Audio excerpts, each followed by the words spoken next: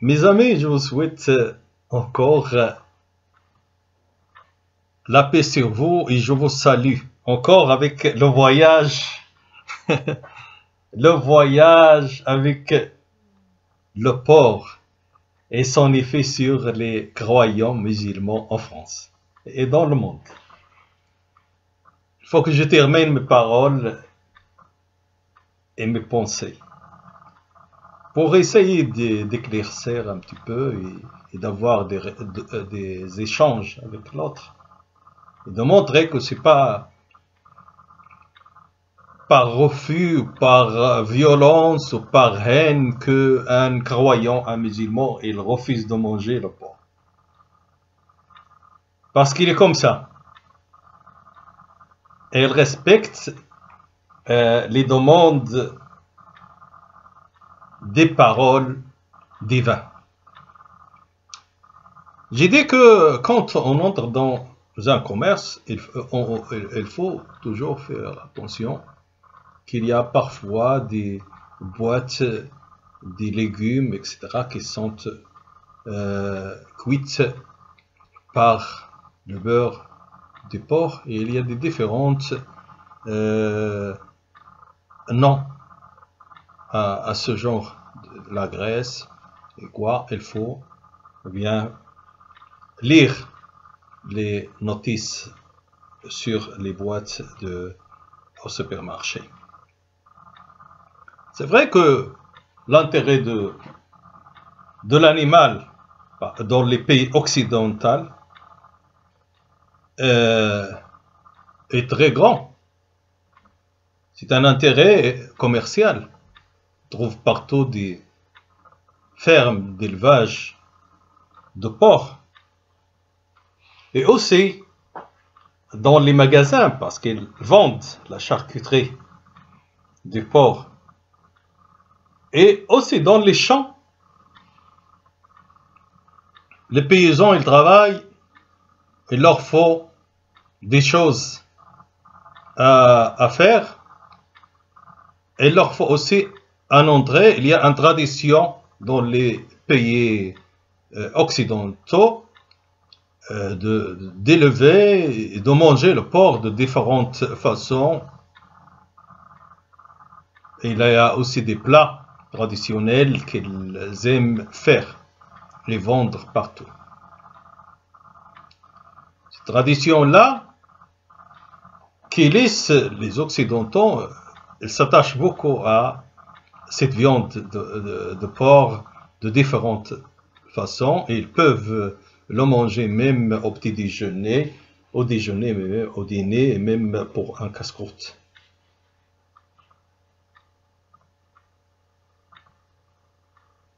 Mais, moi, ces derniers jours, on a entendu que il y a aussi parmi les Français qui refusent de manger euh, la viande de porc parce qu'ils ont peur des maladies qui, leur arrivent. Par rapport au sel, soit par rapport à la graisse qui est d'une grande quantité dans les, les maladies des veines ou, d'autres maladies du corps. Ils ont commencé à ne pas manger le porc. C'est pas seulement euh, les, musulmans ou les juifs euh, qui, ne mangent pas le porc, mais il y en a même parmi les non-croyants qui ne mangent pas la viande du porc. On ne va pas aussi les obliger à manger la viande du porc, ni les obliger à manger la graisse du porc euh, euh, les boîtes de conserve de légumes. Si les euh, paysans ne trouvent plus des supermarchés où ils peuvent vendre leur viande, qu'ils changent leur, leur, leur, leur. Euh, produit et qu'il euh, prépare un autre, un autre produit à élever dans leur ferme. Je crois que l'économie française, euh, l'économie française il est capable de, faire beaucoup de choses. Donc il y a un intérêt commercial que les gens aiment en élevant le porc et en le distribuant. Et aussi par rapport au restaurant. Les restaurants, il y a beaucoup de plats que les gens commandent, qui aiment, soit en France ou, des étrangers, qui sont faits par le porc.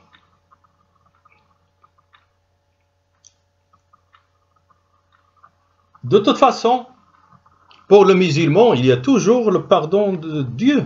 La religion, il n'est pas, n'est pas, n'est pas, quand on ne peut pas éviter de manger le porc, on n'est pas, puni. Parce que c'est pas notre choix. Quelqu'un qui, est dans le désert, il ne, trouve pas de quoi manger, il va manger le porc. S'il n'y en a que le porc à manger. Il va boire le vin s'il n'y en a que le vin à boire. Parce que c'est mieux de rester vivant que de, de mourir. La, la religion, c'est comme ça.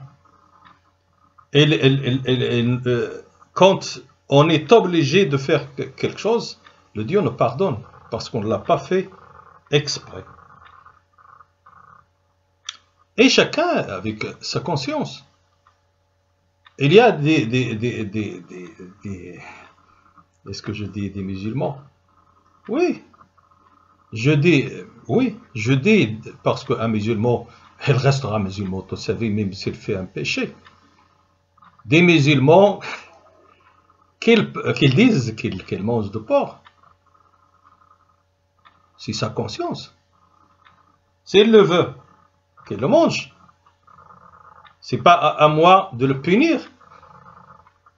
S'il veut manger le porc, qu'il le mange pas. Quand tu es à ta maison seul, tu peux faire ce que tu veux. Tu manges le porc si tu veux. Mais par la loi du Coran, le, Dieu, il a dit, vous ne mangez pas la viande du porc. Rien que pour ça. Même si on aime la, viande du porc, même euh, si on a envie de le bouffer, on ne le mange pas. Comme le viol. Dieu, il dit, ne violez pas une femme. Mais l'homme, il a envie euh, d'avoir une relation sexuelle avec une femme, mais il ne le fait pas parce que le, Dieu lui a interdit de faire ça. Et ça, c'est une loi dans le Coran. Ne fais pas ça. Euh, il ne faut pas avoir une relation sexuelle hors du mariage avec une femme. C'est une loi. Bien sûr, il ressemble ça. Il y a des, ressemblances entre ces, ces lois-là qui sont dans le Coran et ce qui, a, ce qui est dans la loi humaine, la loi française. Ça ressemble. Interdit de violer, interdit. C'est comme ça dans le Coran quand le Dieu il dit ne mangez pas le porc, c'est un, une loi. Si tu le manges, tu, es en péché, euh, tu, tu, es en erreur. Il faut une punition. Mais par rapport au porc, euh, euh, il n'y a pas de punition dans, euh, dans, dans, dans la vie terrestre, euh, surtout quand on vit en France, et aussi par rapport au vin, il n'y a pas de punition dans la, vie terrestre, ça reste que le Dieu pardonne ou punit quand on serait devant le Dieu un jour.